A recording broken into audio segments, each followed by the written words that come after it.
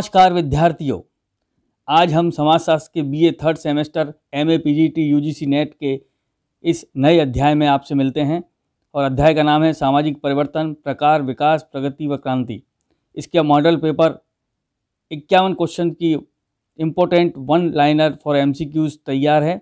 इसको दो पार्टों में किया गया पहला पार्ट आज हम इसको आगे बढ़ाते हैं। आपने बहुत बहुत प्यार, आपने सभी वीडियो में दिया इसके लिए बहुत बहुत धन्यवाद। अगर वीडियो पसंद आए तो सब्सक्राइब अवश्य कर दें, शेयर, लाइक, कमेंट भी करें और आज की वीडियो में आगे बढ़ते हैं। पहला क्वेश्चन है, डार्विन के अनुसार उद विकास की क्रियाविधि में जीव संरचना किस ओर चलती है? सरलता से जटिल की ओर। दूसरा क्वेश्चन है, प्रिंसिपल ऑफ़ सोशोलॉजी नामक पुस्तक के लेखक कौन है? Herbert Spencer. क्वेश्चन नंबर तीन लुइस मार्गन के अनुसार पारिवारिक उद्विकास के कितने स्तर विभाजित हैं? पाँच। क्वेश्चन नंबर फोर की तरफ़ बढ़ते हैं। समाजशास्त्र में उद्विकास की अवधारणा का श्रेय किसे जाता है? हर्बर्ट स्पेंसर को। सर्वप्रथम सामाजिक परिवर्तन का उल्लेख किसने किया था? Auguste Comte. ये सभी सीरीज़ बीए सेमेस्टर थर्ड के समाजशास्त्र के पेपर के लिए बहुत, एमसीक्यू के लिए बहुत उपयोगी है। आप इसका अध्ययन बार बार करते रहें। पेपर नज़दीकी है। और मेरे को आशा है कि आप इसमें अच्छे अंक प्राप्त करेंगे। क्वेश्चन नंबर सिक्स की तरफ़ बढ़ते हैं।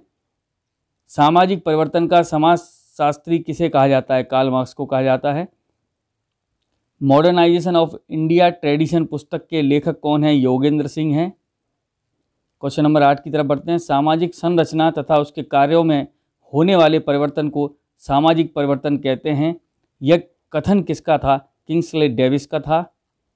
क्वेश्चन नंबर नाइन की तरफ़ बढ़ते हैं। ये बहुत इंपॉर्टेंट क्वेश्चन है और इसमें चूँकि क्वेश्चन के साथ हमने थोड़ा डिटेल भी लिखा है चापिन ने सांस्कृतिक परिवर्तन को कितने भागों में विभाजित किया?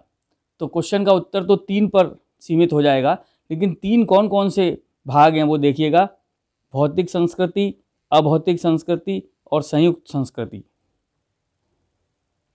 क्वेश्चन नंबर दस की तरफ़ बढ़ते हैं। सामाजिक परिवर्तन का उत्कर्ष रूप किसे माना जाता है? क्रांति को माना जाता है। क्वेश्चन नंबर ग्यारह की तरफ़ बढ़ते हैं। वर्तमान भारत में लगभग कितने प्रतिशत जनसंख्या गरीबी रेखा के नीचे यानी बीपीएल जीवन यापन करने को विवश है? तीस प्रतिशत। क्वेश्चन नंबर बारह की तरफ़ बढ़ते हैं। जैविकी उद्विकासी का सिद्धांत किसने प्रतिपादित किया? चार्ल्स डार्विन ने। और समाजवादी उद्विकास का सिद्धांत दिया था हर्बर्ट स्पेंसर ने, जो हमने अभी पढ़ा था। क्वेश्चन नंबर तेरह की तरफ़ बढ़ते हैं। ये भी इंपॉर्टेंट क्वेश्चन है। मॉर्गन ने मानव समाज के उद्विकास को कितनी अवस्था में विभक्त किया? तीन में किया। तीन व्यवस्थाएँ कौन कौन सी है? जंगली अवस्था, बर्बर अवस्था और सभ्यता की अवस्था। क्वेश्चन नंबर चौदह प्रगति प्रोग्रेस वह है जो मानवीय सुख में वृद्धि करती है। यह कथन किसने कहा है? लेस्टर वार्ड ने। क्वेश्चन नंबर पंद्रह की तरफ़ बढ़ते हैं। फ्रांसीसी क्रांति किस वर्ष में हुई थी? 1789 में। पर, परिवार के उद विकास क्रम का सिद्धांत किसने प्रस्तुत किया? मॉर्गन ने किया। वीडियो में आगे बढ़ने से पहले आपको एक बार फिर अनुरोध कर दें कि अभी तक आपने चैनल को सब्सक्राइब नहीं किया है तो सब्सक्राइब अवश्य कर लें, आपका प्यार बना रहे। लाइक, कमेंट, शेयर अवश्य करें। अपने साथियों की मदद करें। साथियों की मदद करेंगे तो आपकी अपने आप मदद होगी। अगले क्वेश्चन की तरफ़ बढ़ते हैं। Question number seventeen. तीन स्तरों का नियम किसने दिया था? अगस्त कॉम्टे ने क्वेश्चन नंबर एट्टीन की तरफ़ बढ़ते हैं। मौलिक रूप से अकस्मात एवं तीव्र गति से होने वाले परिवर्तनों से आमूल चूल परिवर्तन लाने वाली क्या कहलाती है? क्रांति कहलाती है। क्वेश्चन नंबर उन्नीस की तरफ़ बढ़ते हैं। परंपरा के अंदर ही कुछ तत्व हैं जो परंपरा को बदलते रहते हैं। इन तत्वों को योगेंद्र सिंह समाजशास्त्री परिवर्तन के कौन से स्रोत कहते हैं? ये हैं आंतरिक स्रोत। क्वेश्चन नंबर बीस, यह कथन किसका है? ये उन्हें, उन सबसे अलग करती है जिनमें परस्पर इस तरह का संबंध नहीं होता है, या जो एक दूसरे से व्यवहार के स्तर पर भिन्न होते हैं।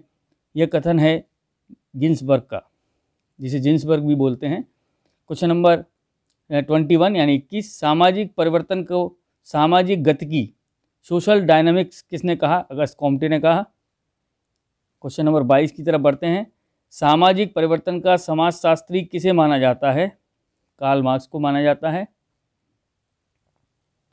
और क्वेश्चन नंबर तेईस की तरफ़ बढ़ने से पहले लाइक, कमेंट, शेयर का फिर अनुरोध करते हैं। आपका प्यार, आप सभी स्टूडेंट्स का भरपूर मिल रहा है, लेकिन इसको और बढ़ाइए ताकि हमारा उत्साहवर्धन होता रहे। क्वेश्चन नंबर तेईस की तरफ़ बढ़ते हैं। क्रिया एवं परिवर्तन सदैव उपस्थित सार्वभौम तथ्य यूनिवर्सल फैक्ट है। यह कथन किसका है? डासन एवं गेटिस ने यह कथन दिया था। क्वेश्चन नंबर ट्वेंटी फोर परिवर्तन का उत्साहपूर्ण स्वागत प्राय जीवन का एक ढंग हो गया है। यह कथन किसने कहा? ग्रीन ने कहा। और इक्यावन क्वेश्चन के एमसीक्यू सीरीज़ का पार्ट फ़र्स्ट का, आज का अंतिम क्वेश्चन किसने कहा कि कई कारणों से सामाजिक परिवर्तन अवश्यंभावी और अपरिहार्य रहा है और रहेगा। लामले ने ये बात कही थी। लामले ने वीडियो पसंद आने पर लाइक, कमेंट, शेयर करते हुए चैनल को सब्सक्राइब कर सहयोग करें। मिशन मुस्कान के साथ पढ़ते रहिए, मुस्कुराते रहिए। जय हिंद, जय भारत। धन्यवाद। अगली वीडियो में जल्दी ही मिलते हैं।